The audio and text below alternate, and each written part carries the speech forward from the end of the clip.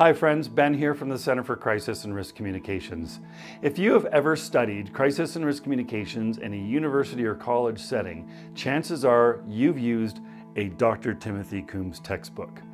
Now, not only is Dr. Timothy Coombs arguably one of the world leading researchers, professors, academics, lecturers, teachers, coaches, but he's a dear friend and a senior advisor to our center.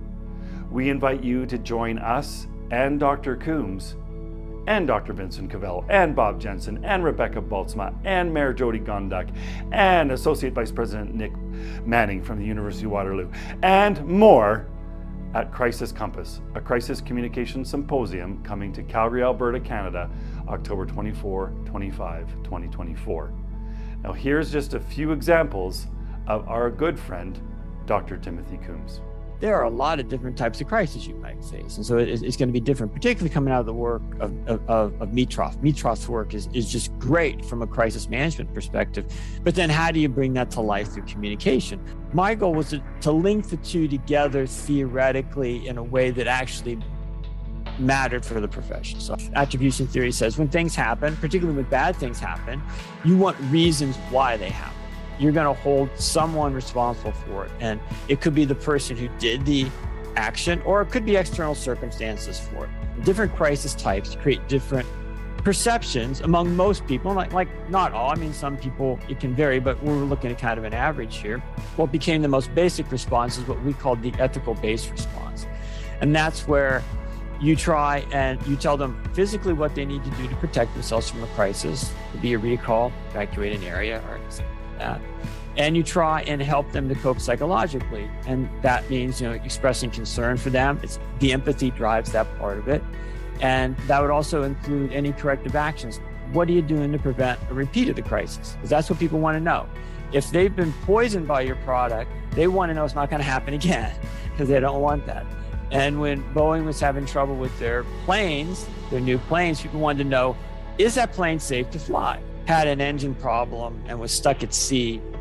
It, was a very bad situation. It was a crisis because it disrupted their operations. It focused attention on Carnival, and there are a lot of very angry customers. Well, of course, I'm going to reimburse you for that trip, and I'm going to cover any costs because they had to come to a different port, and I'm going to make sure that you get home.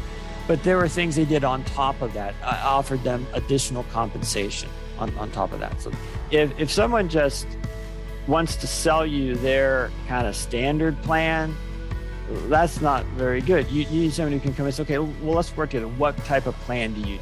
Because we, we, have got to understand, because one size doesn't fit all, all. I see really a crisis communication plan as doing two things. One, it can be a reminder. These are things we, we need to remember to do. And it might be things we need to do because uh, we have some policies and procedures in place, or these are sort of legal requirements, and it'd be really good to remember to do these various things along the way because you, you know you're under you know these high high emotion, high stressful, high pressure situations. When a crisis, there's this information vacuum. Like you know, oh, the facility exploded, but there's so much more you need to know. Like, well, where was the explosion? What was it? What caused it? Who who was injured? all all sorts of things. Yeah, AI uh, is we, we use AI a lot actually daily. If you've got a smartphone, you probably use AI anytime. Or uh, let's say you're at home and you use Alexa or you use Google Home, you're using AI. And AI is, is really kind of any sort of uh, computer action that can mimic what humans do. But you, you want those messages pre prepared and pre approved ahead of time. And it should be information that will be useful to people or some kind of indicator that you've started taking your actions. But you, you give them as much information as you can, as quickly as you can. Although you're always going to be criticized for being slow. I, I've never seen any post crisis critique where they said, wow, the company was so fast. They were quicker than we ever thought they could be. Because, you know, uh, it, it's just natural. As a crisis manager, you're always working with limited information and you need to respond, but you have to have a measured response because risk tells you what can happen to you.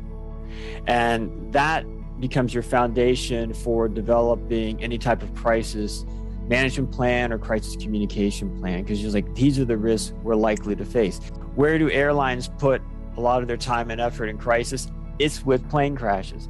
That's actually the least likely of any of their crises to occur, but it has the highest impact. That's why when you when you talk about crisis, you don't just talk about risk, you don't just talk about likelihood, but you talk about impact. And now also they like to talk about velocity, how fast something will happen. So like, well, all right, th- if it's slow moving, that gives me more time. So a more important crisis one with a fat high velocity, one that's going to, you know, get on me really quickly.